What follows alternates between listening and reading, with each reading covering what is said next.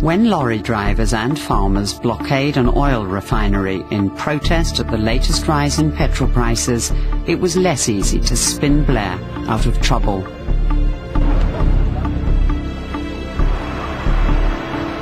We seemed unable to get the police to focus.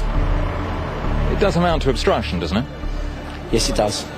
And usually, things that obstruct the road are removed by the police. Normally, yes. And in this situation? In this situation, we're not going to move it at this stage now. Tony said at one point that if this was Thatcher and the miners, the police would waste no time wading in.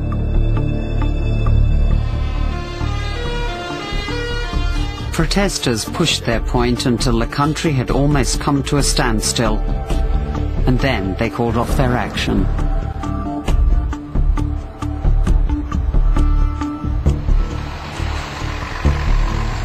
Tony felt the media coverage had been an outrage, but he didn't want to say so publicly.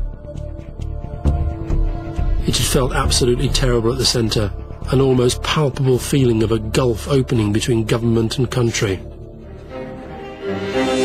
It was far from an ideal scenario for a government entering what would be an election year. Tony was both buoyant and down. Down about some of the realities but buoyant because he felt we were doing the right things and making progress. And also because he had resigned himself to the idea that if we lost, we lost, and it wasn't the end of the world. He had clearly been chatting to his maker again. Four months later, the outlook is no more optimistic.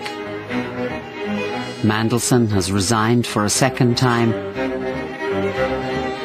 and Campbell is under huge pressure from Fiona to give up his job. I told Tony I was feeling tired and demotivated. I felt I'd given him my best for several years, and I no longer felt on top form, and I wasn't convinced I would recover it. He felt election years always produce this kind of mood promised we would be strengthened by a second mandate. Fiona and I had a fight in the car on the way home because it was obvious I was going to stay. The scene was bad all round.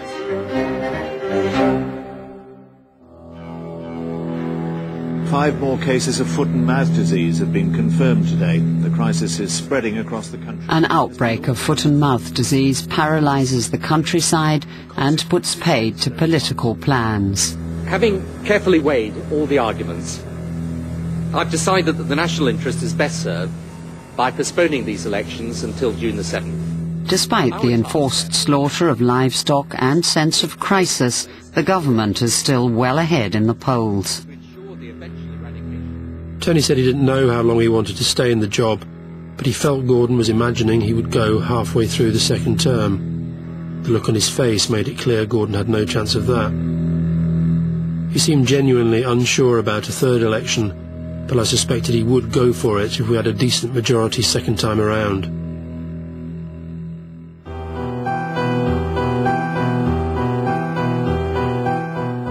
Blair finally asks for the dissolution of Parliament and kicks off Labour's campaign at a school in South London.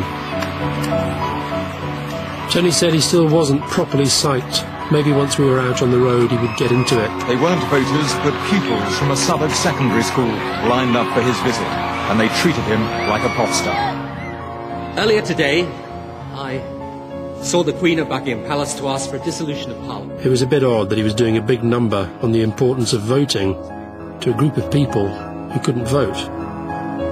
My goal at this election is this. It is not just to win your vote. It is to win your heart and your mind. There was a bit of a scrum outside and the media were pretty cynical about the whole event, but I thought it was just about okay. Mind you, how we kept this cynical bunch of w***ers interested for four weeks of this was a question I didn't like to think about too often. Labour is now desperate to give the campaign a bounce. The manifesto launch is meant to provide it, but luck is running against them. The partner of a very ill patient confronts Blair on a hospital visit. I'd like to know what your Labour government is going to do. My partner has cancer. I asked Tony how bad it was. Bad, he said. Bad enough to blow out the manifesto launch? Definitely, he said. I did my best to talk things down, but when I finally saw the exchanges, I realised we had no chance. No, you're not very sorry because if you was, you would do something about it. And then John Prescott retaliates when a bloke in the crowd throws an egg at him.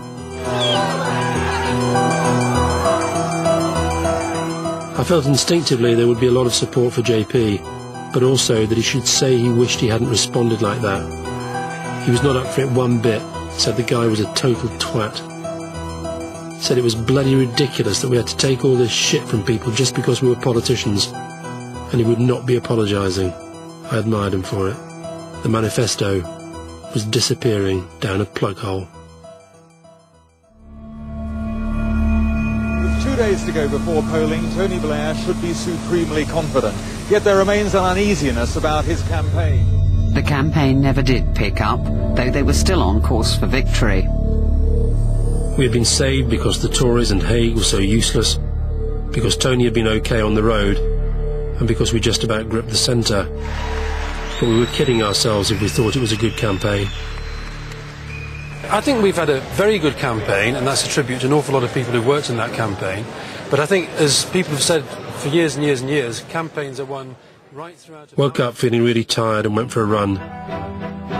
Loved the feeling of being out on my own with the wind gusting every now and then, and feeling I'd done all I could, and though it had not been perfect, we were definitely going to win. Tony Blair arriving after... Tony told me earlier he would be more confident because the second mandate is in some ways more powerful than the first. Plus he had learned and had experience of how to work the system.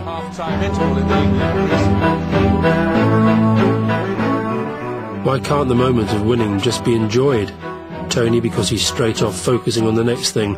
Me because of some general dourness defect that kicked in when everyone else was enjoying themselves. Weird.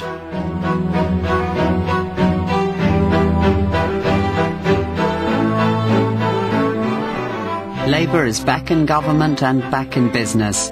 But there's no time to pause and take stock. Problems have not evaporated. After working round the clock for a few weeks, going the last few days without sleep, I was now straight back on the treadmill, and in circumstances where, because I was staying, Fiona and I were barely speaking, and when we did, it was to argue. She said that what made me good for him, driven and single track and obsessive, is what made it difficult for her. I felt between a rock and a hard place. There were consequences to staying, but there were consequences to leaving too. Peyton place with knobs on.